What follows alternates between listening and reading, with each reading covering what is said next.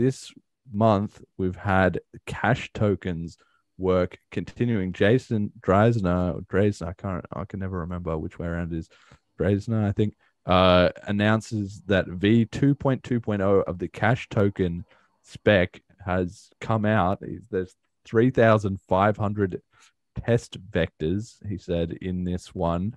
And the they ran a test of the uh, chip, the cash improvement proposal for cash tokens on a test network. And they mined a few thousand transactions and everything worked uh, brilliantly.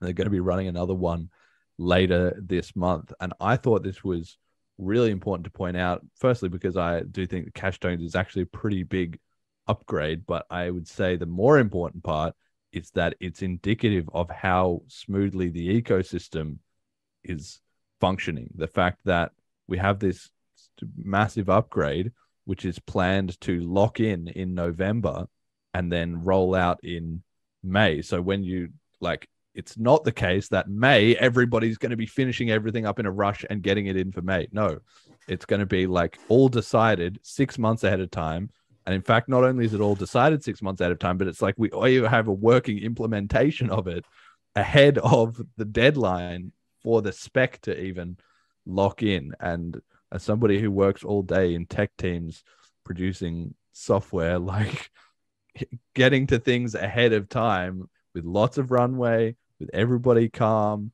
with it all going smoothly, with all stakeholders happy, that is a massive feat, let alone doing it on a decentralized uh, network.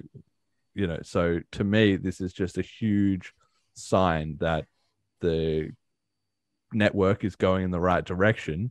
And given another year, you know, two years, three years, things are just going to keep getting better and better, like they have been uh, for the last year. But I don't, I don't know. Have you heard much about cash tokens? You big on the idea of cash tokens, Killian?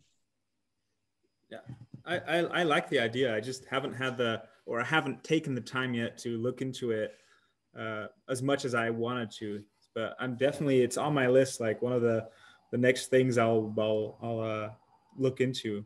So, but I haven't I haven't had the I haven't taken the time at least to look into it much. So, but it sounds yeah. like from what I've read, it sounds super promising. Like, whoa, okay, this like m- miner validated tokens and stuff like that. I mean, uh, there's a lot of possibilities that it unlocks. So it's pretty cool.